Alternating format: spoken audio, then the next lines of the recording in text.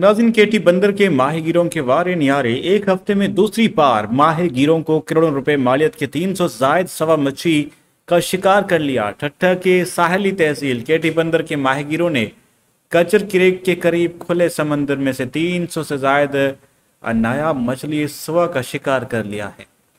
केटी बंदर के माहिगीर हनीफ जत, हसन कातियार और हबीब कातियार की कश्तियों ने बड़ी तादाद में समंदर से सुआ मछली का शिकार कर लिया। तर्जमान का कहना था, गुजशत हफ़्ते भी सजावल के माहिगीर को 300 से मछली तीन सुआ मछली का शिकार किया था।